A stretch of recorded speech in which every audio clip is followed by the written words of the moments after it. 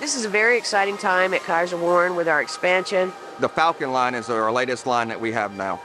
The Falcon line is new, new to Kysor Warren, state of the art. You know, I've seen a lot of different products come through the factory. By far, this is the best product that I've seen from a design standpoint, from an install standpoint. Falcon line fits pretty much every ergonomics ask that we want in manufacturing. It helps them pick up, it helps them lift, it helps them push, pull, so all they have to do is focus on their job.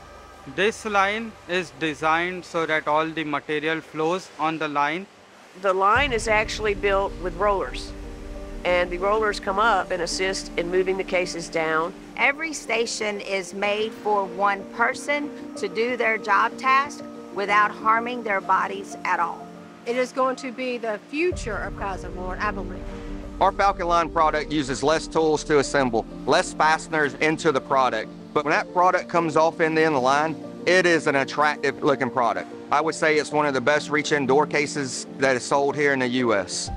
This line has some features which are unique in US industries like the soft closing door mechanism, full height glass door making the visibility and the aesthetics of the case really high class. The design of the equipment from a line install standpoint takes into consideration how the operators work. So a lot of lift assist equipment, so no bending over, no long stretches of the arms. So it's a really safe product to work. The other thing about this line is every workstation is laid out to where anybody can perform the task.